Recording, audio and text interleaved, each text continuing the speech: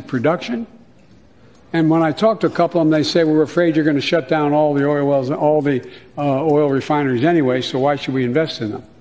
I said, we're going to need oil for at least another decade. And that's going to exceed and beyond that. We're going to need it. Production.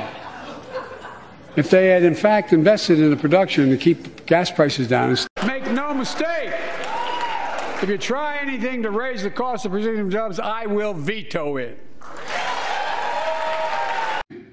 Ban assault weapons now. Ban them now. Once and for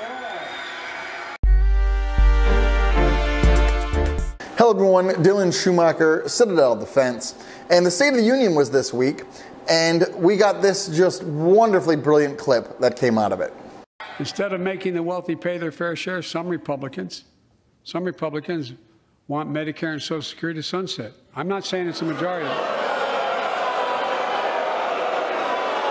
Let me give you anybody who doubts it, contact my office. I'll give you a copy. I'll give you a copy of the proposal. That means Congress doesn't vote. Well, I'm glad to see you. No, I tell you, I, I enjoy conversion. You know, it means if, if Congress doesn't keep the programs the way they are, they'd go away. Other Republicans say, I'm not saying it's a majority of you. I don't even think it's even a significant, but it's being proposed by individuals. I'm not politely not naming them, but it's being proposed by some of you. Look, folks, the idea is that we're not going to be we're, we're not going to be moved into being threatened to default on the debt if we don't respond. Folks, I love that clip for so many reasons. Uh, it perfectly encapsulates the state of the union. You have the president who's going to get up there and lie. I mean, just bold faced, verifiable lie. He's lying. He's saying the Republicans want to limit the size of the federal government. That's a lie. And the Republicans are shouting him down for that lie, right? They're like, "Bo, we, we love big government. We don't want to cut Medicare and Medicaid, even though they should. The Democrats trot this one out often, right? That the Republicans want to get rid of uh, Social Security or make cuts to Social Security or get rid of Medicare, cut it back, or whatever. That's a common, common deal. He gets booed. Um, the president gets booed, and then he kind of backs down, you know? if there was a scrap of anybody who actually cared about the people living in this country or the long term health of this nation, they would scrap Medicare, Medicaid, and Social Security tomorrow. That's over 40% of the budget every year, are just in those three programs. And then the Republicans are happy to defend their love of the welfare state, right?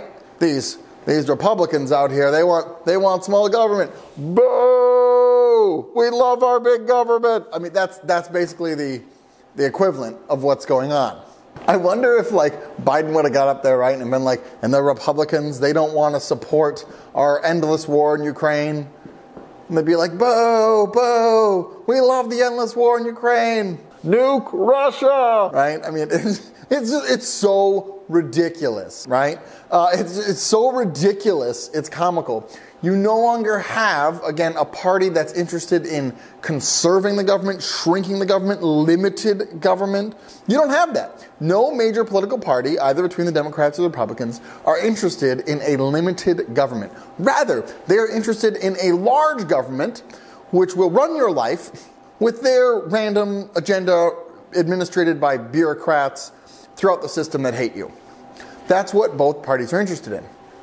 And of course, it's bankrupt and tanking the economy. That's a whole different other thing. But, right, the, the funny part is they're sitting here arguing about who loves the big government more. And Biden's going to be like, they, they want to limit it. And they're like, "Oh, you know, he's, again, he's lying, but he shouldn't be. He should be telling the truth. And people should be like, well, yeah, that's what we want to do. Right? So, and then, the, again, it just gets better.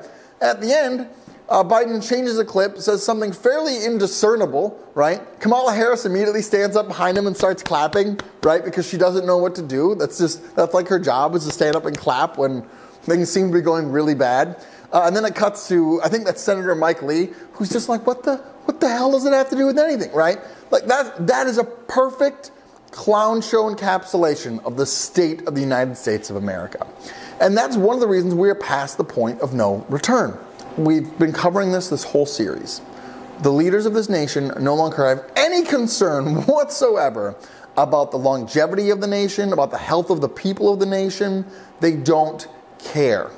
They want to treat the system as an endless piggy bank until it completely and utterly collapses. And that's what they're going to do. And that's one of the reasons there's no going back from this. This is going to crash and burn, and there's going to be something else after.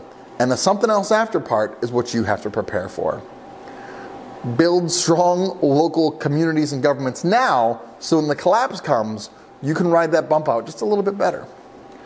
Do brave deeds and endure.